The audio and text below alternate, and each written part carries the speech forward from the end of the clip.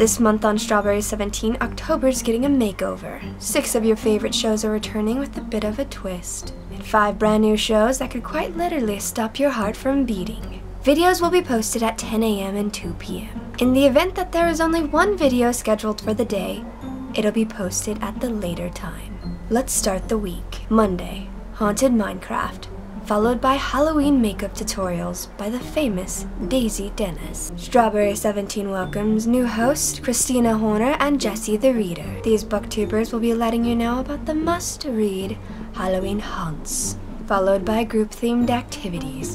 Whether it's a haunted mansion or shooting up zombies, we're doing it, and hopefully we'll make it out alive. Wednesday, cosplay returns with a casual twist, transforming your ordinary clothes into something to die for.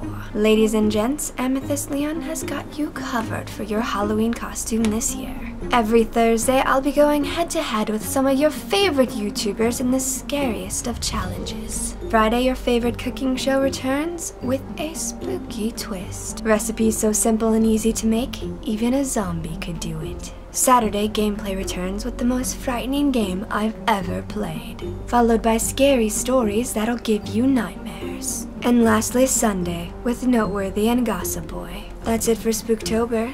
I hope you tune in.